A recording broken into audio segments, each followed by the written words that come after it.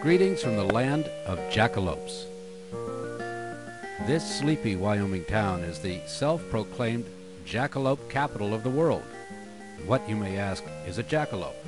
Well, they're big and furry, and they've got a set of antlers.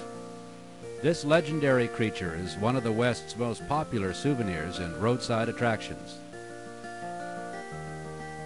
And if you want to catch a jackalope, well, you'll need to get a license. And then, at night, under the light of a full moon, you just sneak quietly up and shoot it.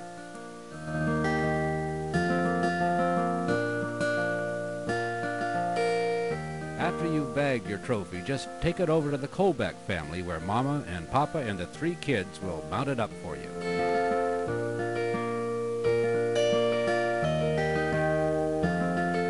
And after a little brushing, you'll be ready to take it home.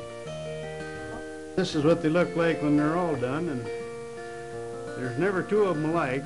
Some will snare, some will smile, some just look at you, but you never want to trust trust one of them, a jackalope, or the guy that owns one.